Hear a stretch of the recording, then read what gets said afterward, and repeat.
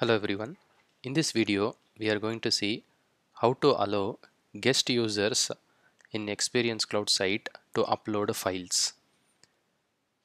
This will allow um, external users to upload files though they are unauthenticated. So though they don't have a username and password to log in into Salesforce and upload the files, uh, using this experience cloud site we can make that as a public site and uh, using guest user mode we can allow uh, external users to upload files. So the first step in doing that is we have to go to general settings under salesforce files and allow site guest users to upload files. So for the first step is we have to enable this option okay.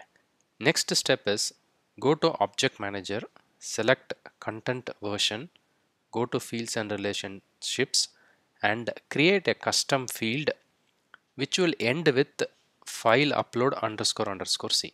You can give any name. I have used guest record. You can also give any name but make sure it ends with file upload underscore underscore c.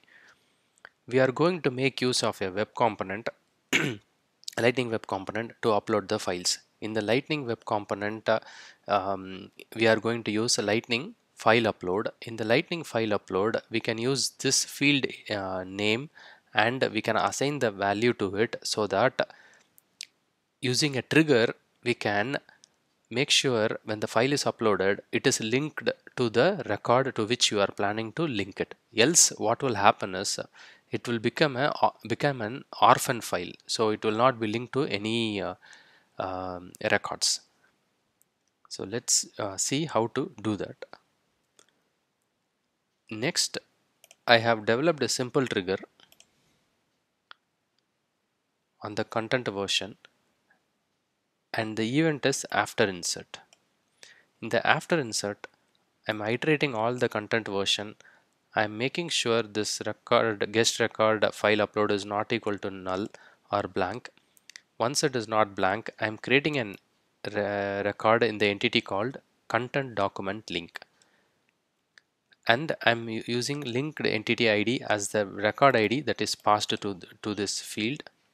And I'm setting the content document ID as the content versions content document ID. So if a file is uploaded we will have content document and also we will have content version. In this content version we will have content document id that is the real file which is uh, uploaded.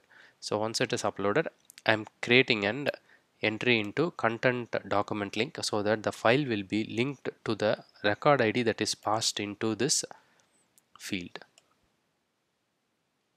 Okay. Next step is in the experience cloud site builder i created a page called file upload.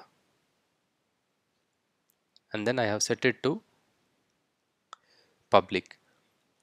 And then I published my uh, experience cloud site. In this video we are not going to see the lightning web component in detail but in the video description I will share the blog link so that you can get the lightning web component code. So here in this account record I don't have any files so currently there are no files. So this is the lightning web component which is which was added to this uh, uh, page called file upload. So currently I'm not passing any value in the uh, URL so I'm not passing any query parameters. So it is saying incorrect URL please check with help desk for additional help. But if I pass the record ID here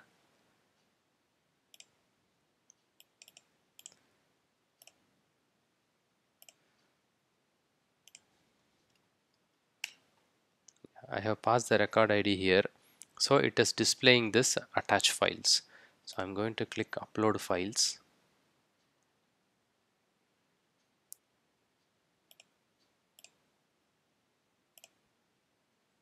So I'm going to attach these two files.